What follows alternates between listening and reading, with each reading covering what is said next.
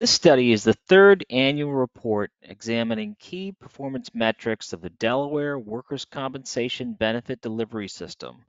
The analysis covers total claim costs, medical payments, indemnity payments, disability duration, benefit delivery expenses, and other metrics.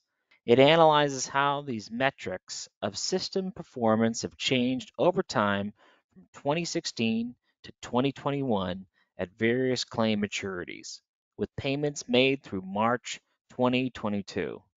Let me show you how you can use this study.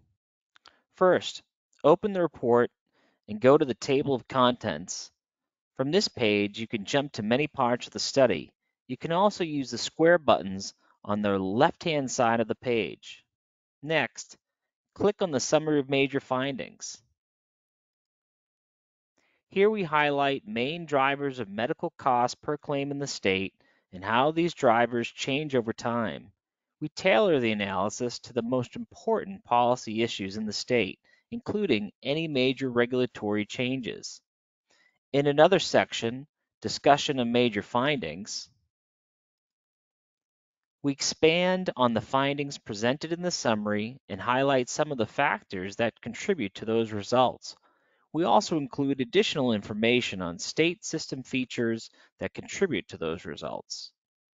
If you're looking for specific drill down information, check out the section on Guides to Figures and Tables. It is a quick reference guide to the underlying data with links to detailed tables and figures. Throughout the report, you can use the links to jump to different parts of the study. You can go from a finding reported in the summary to the charts that illustrate that finding, to the underlying data that supports the finding. We hope you found this video helpful and will download the report.